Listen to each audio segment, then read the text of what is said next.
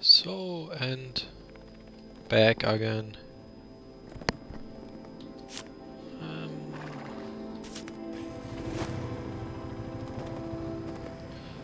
well, the first thing I wanted to mention was that um, I increased the graphic once again a bit, hoping that the recent patches of the game um, increased the performance enough or finally fixed the bug that caused the crashes.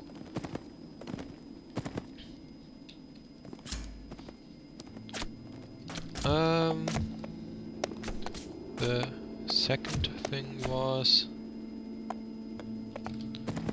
that for those interested in trying the game, there soon are, uh, are trial keys given out, allowing you to test the game for free for a while. And that's exactly, let me just check.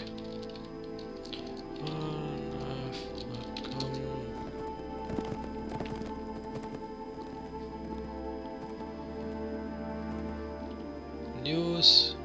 Uh, there's some kind of zombie event from October 23rd on, where lots of zombies run around and at the same time are thousands of trial keys um, given out to the websites mmorpg.com, tentonhammer.com, massively.com and escapistmagazine.com. Um, if you didn't quite get it and can't read the text there, you can check it on your own on the official Fallen Earth website.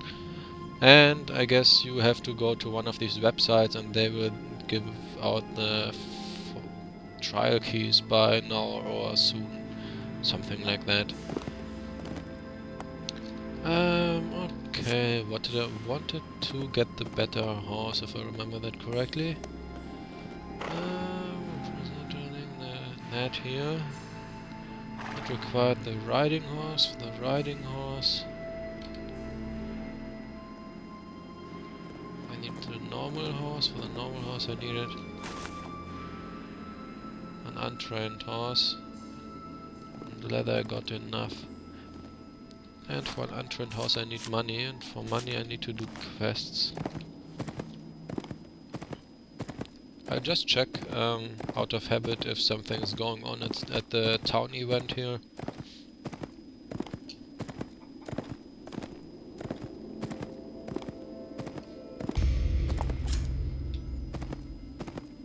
Some people have been donating stuff. But I don't... Well, there has been a patch. Today or yesterday, I'm not sure.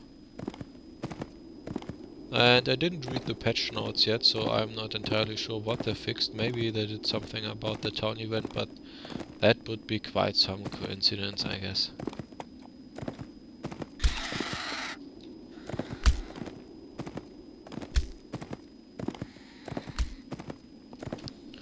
Well, time to do some of these quests and to make some money.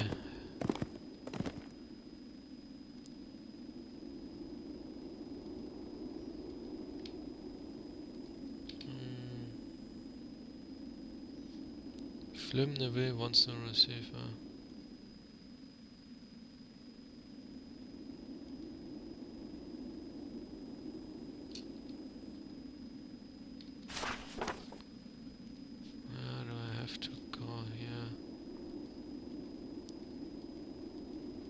Well, these quests give a good amount of experience at the same area, but they don't give me any money. And currently I want mostly money.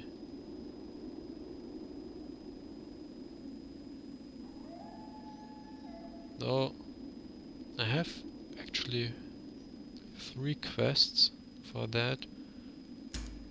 So probably or hopefully I'll get some money while, uh, with the crap I find by killing the stuff there.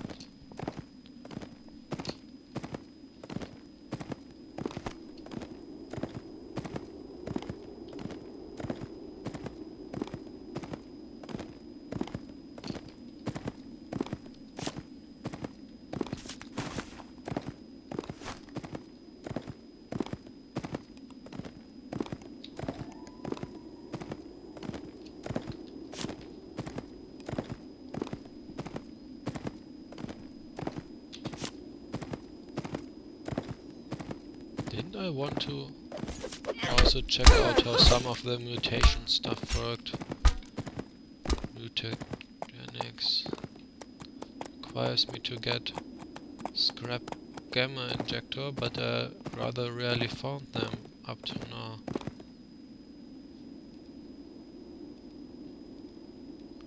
That's a bit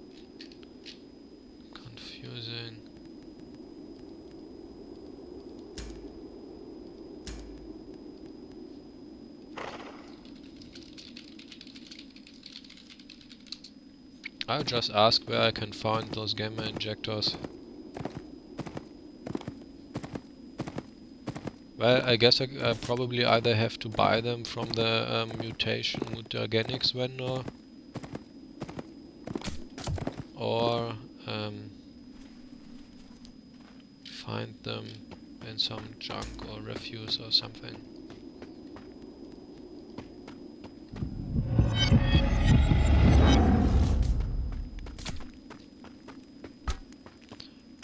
There's a lot of people going on here.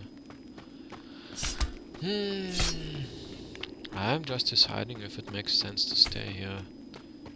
There's so many people that they are... As soon as an opponent pops up... Ah! Ha!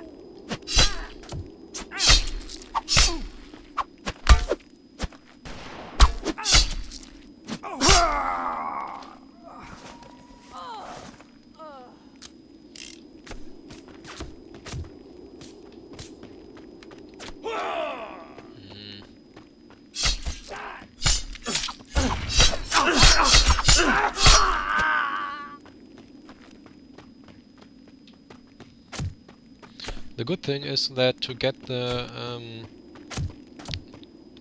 to have one of these guys count for a quest I don't have to be able to loot him or something, I just have to um, hit him once or twice even while other people um, are killing him or something.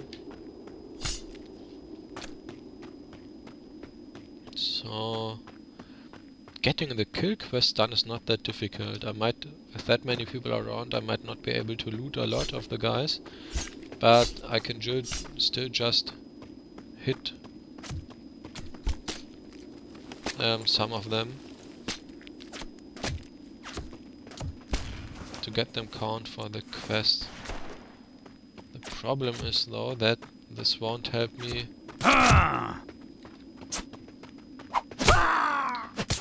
doing the quest where I have to um, loot all the junk places here.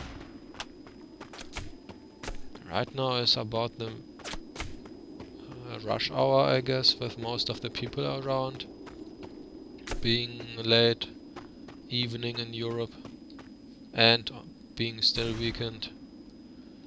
Um, do I really want to stay here and I guess I'll rather do the quest when um, less people are around. Especially since I don't have any ranged weapons. So it's uh, would be more easier if I could just pick off the uh, uh mobs from distance.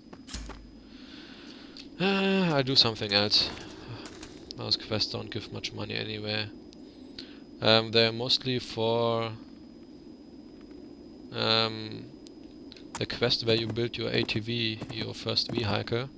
So maybe they're, because of that, so popular. That quest gives me at least 50 chips. Uh, he wants either two green linen jacket. What I can only craft grey green. Or skull caps. Yeah, skull caps. Wool and grey dye. Five skull caps is quite a lot actually.